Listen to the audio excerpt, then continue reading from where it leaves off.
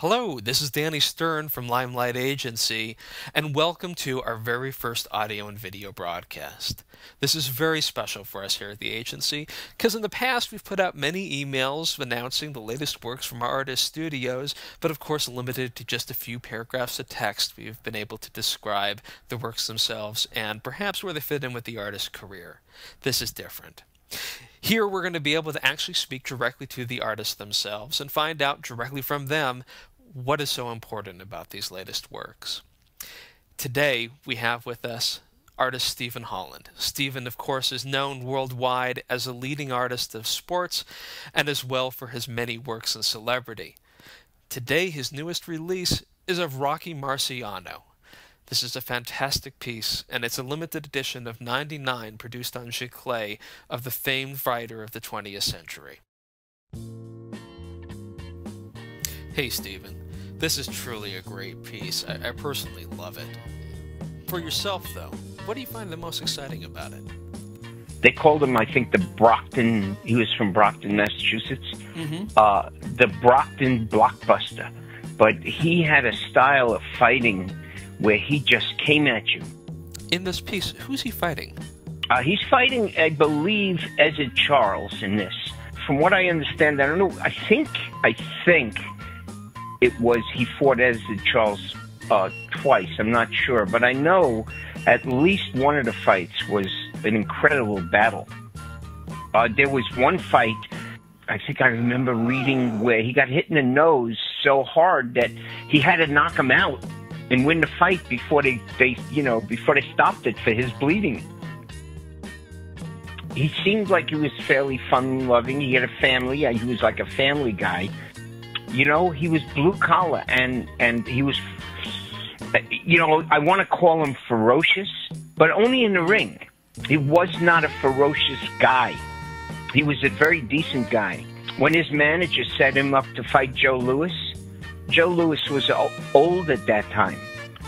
And Rocky didn't want to fight him because Joe Louis was his idol and he knew that he would kill him, He'd tear him apart, which he did. And it really hurt him.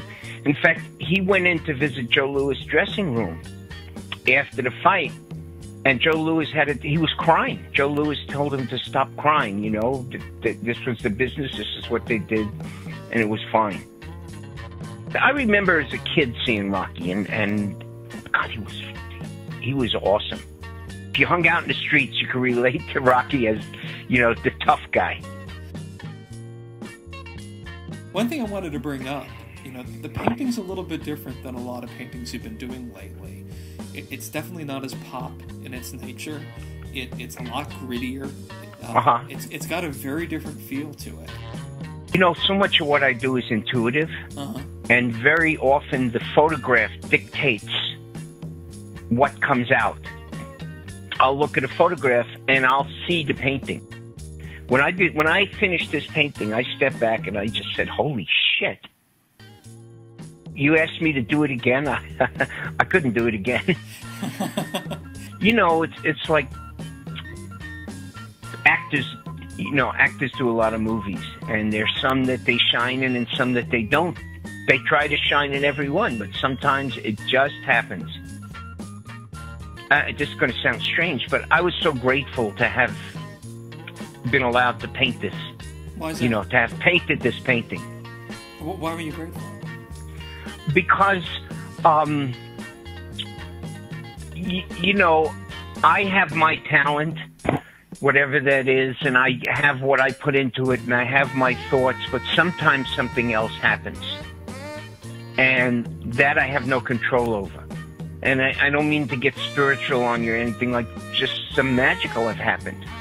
And so I believed when I looked at Rocky, when I looked at the finished painting, that that happened. So I was grateful it came through me like that something that I always appreciated, never stops to awe me, is when you got a, a fighter in, in the, of the caliber of Rocky Marciano. I mean, that is so awesome. that is so beyond any working class anything. I think about the, the level of talent. But not only that, I think of almost any professional fighter they are so powerful and they're so strong at what they do. And they can hit so hard and they're able to take a punch that a normal person wouldn't even have a chance of standing up to. These guys are, they're like concrete, literally like concrete. This, this is what I want to paint. You know, if you just allowed me to paint anything I chose, never mind who it was or the person, this is the kind of painting I would paint. Showing that kind of fury in a, in, in a fighter, in a, in a football player. That's what I'm after very often. Um, a lot of people who are watching this and listening to this um, are potential collectors of this piece. Yes. And some of the people are art dealers who will be talking to their collectors about this piece. And you know, I think a question comes up often when those someone's considering a piece to collect they're representing a piece, and that is, uh, you know, what the artist feels about where this fits into their full body of work. You know, why would the artist himself want this work? Where do you think this fits in for you? I think it's one of the best paintings I've ever done, if that's what you mean.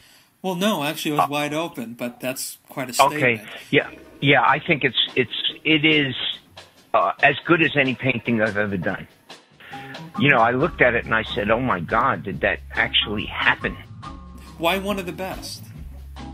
Be- because really embodied what I wanted to show. What intrigued me was the power and the fury of the way Rocky Marciano fought. And I thought that it really captured that.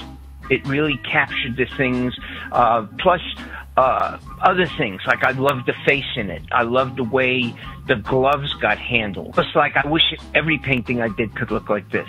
But then I'd get bored and I wouldn't do the others.